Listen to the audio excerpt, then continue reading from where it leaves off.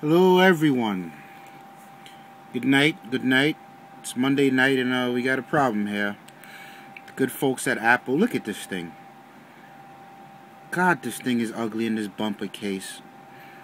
What is the point? Why do I need to put a case on a phone to to, to stop me from dropping a call? And anyway, it's not what we're here today. You know, uh, the good folks at Apple, they found a way to do it again to uh, put our information in jeopardy. God bless them. So here we have my uh, my mother's iPhone, right? Sweetest lady in the world. Why would you? Why would you wanna? Oh, it's a picture of me. Oh, but let's say I'm a bad guy and I wanna I wanna get in her phone. Grr, bad guy. I'm a bad guy. I'm gonna get in your phone.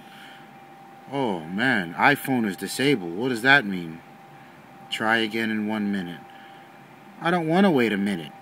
Why do I have to wait a minute? Let's just do something like this. Something nice and wild.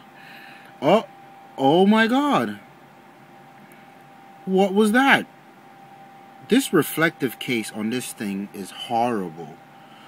But did I just bypass all security? Is this are these our contacts? Recent calls, voicemail? What is going on here?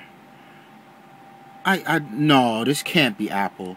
Let's let's let's uh what is this? I've got an HD2 here. It's running Android. I you know, let's act as if I don't know my password.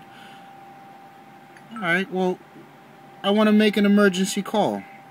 Let's try that same crap. Pound, pound, pound. We're gonna dial that and oh wait a minute. Cannot send pound, pound, pound. This is not an emergency number. So you mean to tell me that Google is smart enough to recognize what is and isn't an emergency number? Genius, I tell you. Then we've got, I don't even know what this is. We got a Blackberry here, nothing special.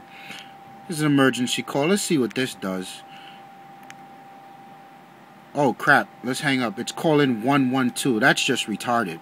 I live in the middle of Brooklyn. What the hell is that? 911, you whatever that is.